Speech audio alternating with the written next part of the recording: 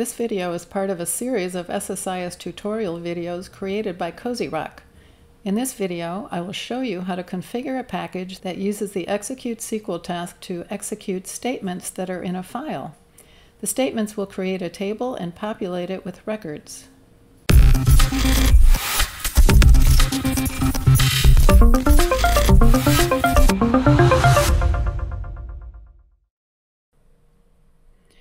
This is a script I created that will create a table called alumni, as you can see here, and then it will insert 100 records into the table.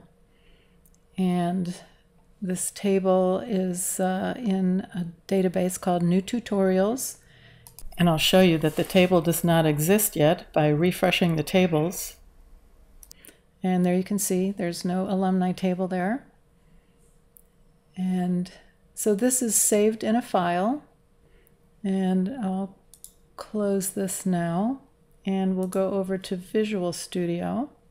So I already have a connection manager set up to create the table um, using an OLEDB connection manager and of course write all the records using this connection manager. And now I'm going to set up a connection manager to access that file that has the script in it. So there's query to create table is the file name. It's a SQL file. And now I'll drag the execute SQL task onto the canvas. I'll change the name.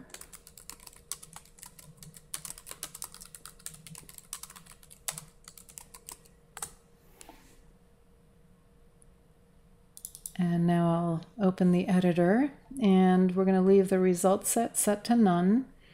The connection type uh, is OLEDB. And now we'll select the connection manager, my OLEDB connection manager.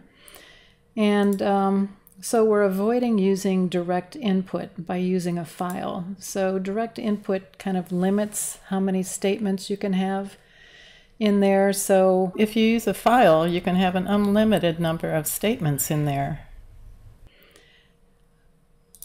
So that's one reason to use a file for your statements or your query. Another reason would be that you, you won't have to modify your SSIS package if you want to change the statements that get executed. So you could just update the file and not have to update your SSIS package. And then we'll select that connection manager that I just set up.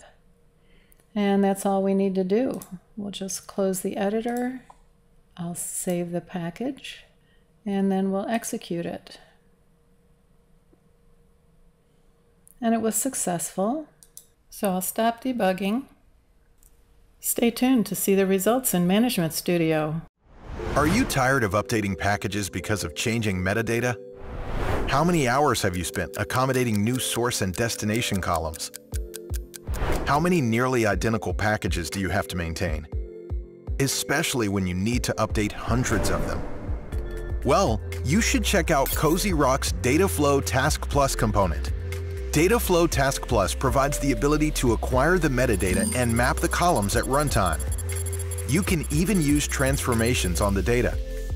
Just add the changes at the source and destination, execute, and Dataflow Task Plus will handle the process of extracting, transforming, and loading the desired columns from the source to the destination without a need to change the existing package.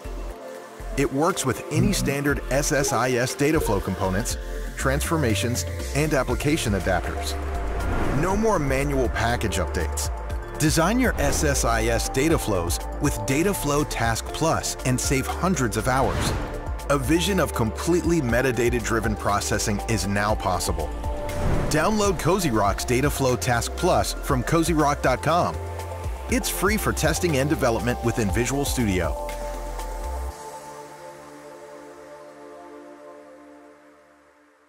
Now we're over in Management Studio, and uh, here we'll refresh the tables again.